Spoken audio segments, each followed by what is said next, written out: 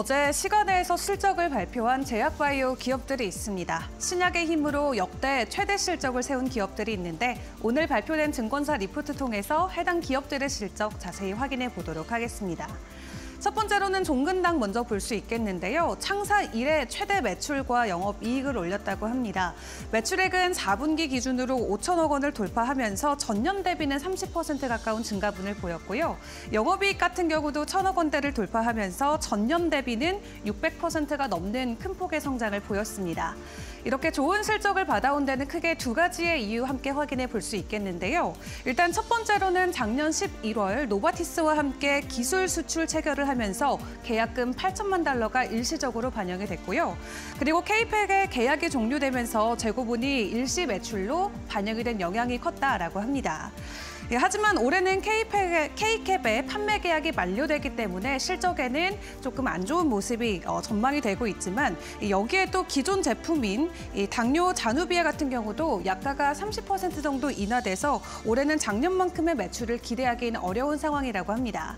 그럼에도 불구하고 다양한 신규 상품이 도입될 것으로 기대가 되면서 어느 정도 매출은 방어에 나설 것으로 보여지고 있는데요. 일단 올해 매출 증가 요인으로도 두 가지 정도 확인을 해볼 수 있겠습니다.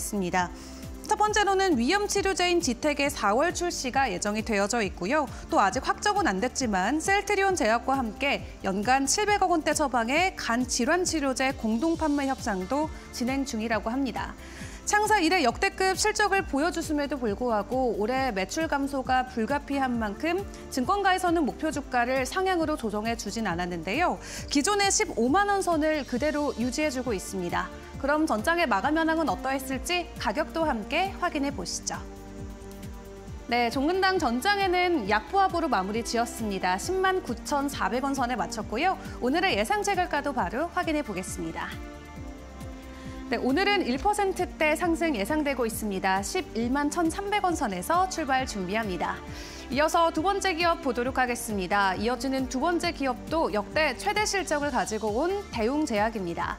매출액 같은 경우는 3,600억 원으로 전년 대비는 10% 증가분을 보였고요. 영업이익은 280억 원을 기록하면서 전년 대비해서는 100%가 넘는 수익을 올렸습니다. 대웅제 같은 경우는 지난해 실적이 국산에서 새로 선보였던 신약들의 매출도 좋았다라고 하고요. 글로벌 시장에서 선전하고 있는 보툴리눔 톡신 나보타의 지속적인 성장이 굉장히 좋았다라고 합니다.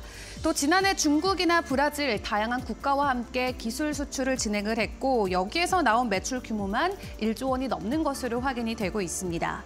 신약의 지속적인 성장 덕분에 매출과 영업이익 그리고 영업이익률까지 세 분야에서 역대 최대 실적을 이뤘는데요. 올해도 좋을 것으로 전망이 되고 있습니다.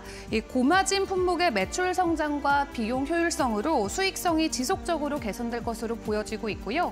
주력 제품으로 확인되고 있는 나보타 같은 경우는 현재 미국에서 지속적인 성장을 보여주고 있지만 올해 같은 경우는 추가적으로 말레이시아, 호주에까지 수출을 할 것으로 보여지고 있습니다.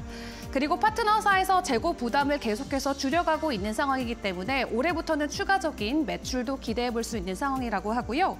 이에 증권가에서는 목표 주가 16만 원 선으로 제시를 해주고 있습니다. 전장의 마감 현황은 어떠했을지 가격도 함께 확인해 보시죠. 네, 대웅제약 전장에는 0.7% 오름세 보였습니다. 11만 1,700원 선에 마무리 지었고요. 오늘의 예상 체결가도 바로 확인해 보시죠. 네, 오늘은 추가적으로 2% 상승 예상되고 있습니다. 11만 4천 원 선에서 출발 준비합니다. 지금까지 투데이 증권사 리포트 이은주였습니다.